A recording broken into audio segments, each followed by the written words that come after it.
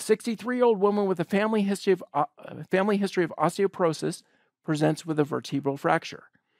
She has a workup that reveals no complicating causes other than the osteoporosis. She has a history of type 2 diabetes, a prior DVT, and severe reflux esophagitis with stricture in her past. Her, her exam is unremarkable except for spinal tenderness over T7.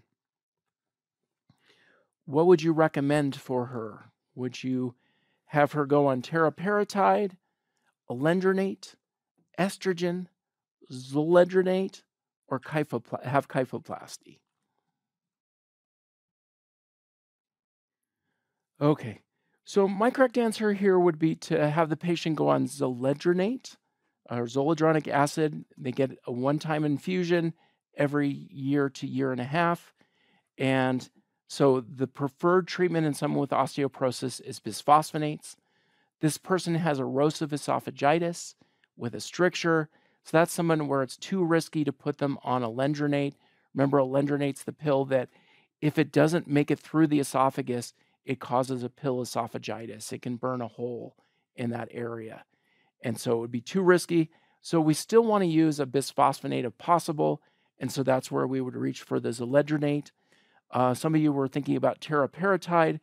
It's more expensive and not as well proven. So uh, it's not a terrible answer, but zoledronate would be preferred. And then some of you were looking at doing kyphoplasty that's often done. The randomized trials of kyphoplasty uh, compared to placebo do not show additional benefit with using kyphoplasty. So it's a procedure that we probably shouldn't be doing in the majority of patients with the vertebral fracture. That's where you put cement directly, you inject it into their vertebrae. All right.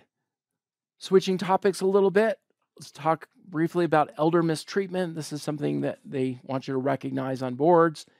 So it's defined as an intentional action, such as being uh, abusive towards an older person or failing to act in, on their behalf, uh, aka neglect, that's doled out by a caregiver or family member. It's most prevalent in folks who have dementia you can see it, uh, or you, you, might see it in the form of uh, just poor care for the individual, um, skin tears, lacerations, bruises, etc., pressure ulcers, um, while not 100% preventable, are also uh, big red flags when we see them. And it's mandatory that re- we report any uh, suspected elder abuse.